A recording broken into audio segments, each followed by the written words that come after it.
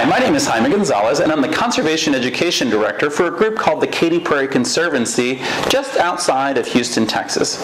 And we oftentimes get the question, how do you make the world a better place for wildlife and for people? And I always say, you know what, start with native plants. Native plants have probably been growing in your area for thousands of years, and so the native bees and the monarch butterflies and other pollinators know to use those plants and get everything that they need to survive from those plants. So if we can get more wildflowers and native grasses and native trees in our living areas and at our local parks, we're going to be doing a lot of good for the planet.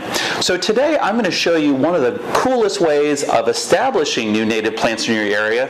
It's a thing called a seed ball.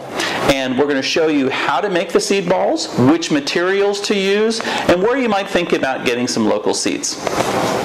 So what do you need? Well, you need five parts of red potter's clay per mix. You need three parts of a growing medium like compost or topsoil. You need one part of native seeds and you need some water. And we're going to go ahead and show you how to mix this up, but let me go ahead and comment on each of these ingredients. Real quickly, red potter's clay can be found at ceramic shops and you can usually get a fairly large bag. I would stick with the red potter's clay and not the white clay White clay sometimes can have chemicals that can burn skin, so use the red potter's clay. We're going to use five parts every time we mix up a batch of seed ball mix. Your compost or topsoil. Make sure that you're using a fairly rich growing medium like compost. We're using mushroom compost here, but you can use a variety of things. I would say that if you're using compost from your garden, just ensure that it's well composted such that all the weed seeds are killed in there. You don't want to be spreading weed seeds into your your new planting area. You just want the wildflowers and grasses growing there. So we're going to add three parts of this every time we make up a new batter uh, for seed balls. And then the last part is one part of native seeds. And what I would say is probably contact your local nature center, bird group, wildlife conservation agency, state park, and ask, where can I get local seeds that will be beneficial to our local wildlife? And uh, what you'll find is that they should have have a list of reliable sources for your seeds. Here in coastal Texas, we use our friends over at Native American Seed. They produce a lot of great seed mixes like the Lady Bird Johnson mix that have a wide variety of wildflowers for things like monarchs and bees and flowering beetles and things like this. So this is a really good product, but you need to find out what your best mix is, not what we're using necessarily here in Texas. So contact your local nature center or state park. The last part is going to be the water. And we're going to add water to help bind all of these component pieces together into a seed ball.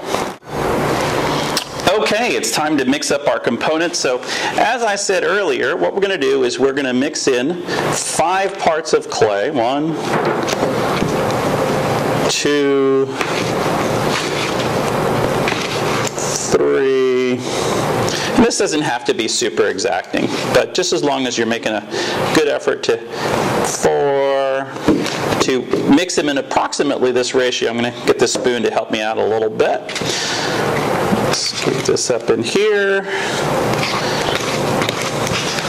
And usually you won't use this small of a measuring cup. I just want to keep it kind of uh, easy for you guys to, to visualize. Um, you want to mix up a bunch because this goes pretty quick, especially if you're working with kids. So I got five parts of red potter's clay.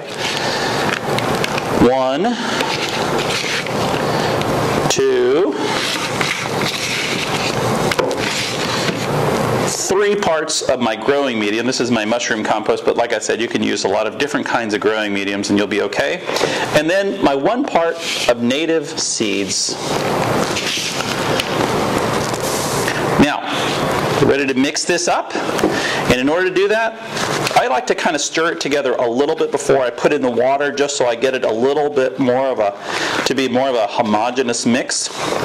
And you can see that it's hard to see the seeds now, and it's getting harder to spot uh, where your, your growing medium is, but it's all in there.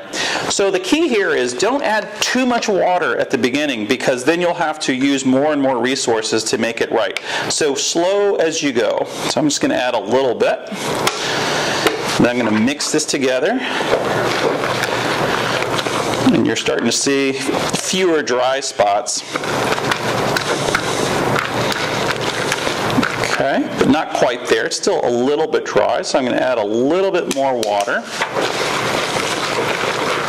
And you just want to make sure that none of the clay is visibly dry. You just want to make sure to really mix it up well. And what I would say is make sure to use a real sturdy spoon that's not going to bend or break on you. No plastic spoons or anything weak. Uh, wooden spoons tend to work really well uh, for this. Okay, so that's the consistency I want. If you take a look here, it's like a super, super thick pancake batter or cake batter, so thick that I can do the test. And here's the test. Will it stick to my finger? If it sticks to your finger, it's going to make really great seed balls. Okay, we're ready to roll our seed balls now that we've made the mix. So we use these roasting pans, these aluminum roasting pans, because they're stackable. So you can make a whole bunch of seed balls, place them on this newspaper, and then add another tray as necessary, and then take them to a place where they can dry for three days. Make sure to uh, not try to dry your seed balls in a place that's very, very humid or damp. Otherwise, the, uh, the seed balls won't dry quickly enough, and some of your species might actually start sprouting before you want them to. So what we're going to do is we're going to break off enough seed ball mixture so that you can make a seed ball that's approximately the size of an old school marble. See that? If you make them much smaller than this, some of the seeds will be protruding. And if they're protruding out of the seed ball, that might mean that, uh, that rodents or birds or other things might try to get your seeds. And one of the roles of these seed balls is to help protect the seeds from birds and rodents and other things until they're ready to sprout. So you just want to continue to make these seed balls for as long as your batter holds up. And, um, and you can make, with a group, you know, many hundreds of seed balls rather quickly. So this is kind of an addictive uh, activity.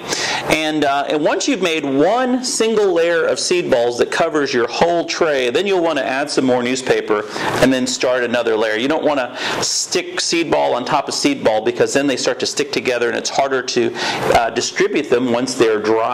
So you just want to make them about the size of an old school marble and make as many as you can given the amount of batter that you've created. You've dried your seed balls for about three days and this is what they look like. They are rock hard and that's a good thing. What's going to happen is your, your seeds inside your seed ball are going to be protected from rodents and birds and other things that would eat the seeds and not let your plants sprout. So what you'll want to do is just take these to an area where you'd like to restore a little meadow, a little prairie patch, um, a, a nice little place for pollinators and butterflies and that kind of thing, and just throw them on the ground. Do not bury them, do not plant them. The advantage of using seed balls is that this is kind of a self-contained little ecosystem. It's got things to protect the seeds, it's got the compost or topsoil where the seeds can grow in, and so the rain will break down the outer coating and it'll sprout right from the seed ball. You don't have to do anything except just gently put them in an area at a seeding rate of about one seed ball per square foot. Once you've had a pretty good amount of rain in your area, the seed ball will start disintegrating, exposing the seeds and allowing them to sprout. So you should end up with something like this.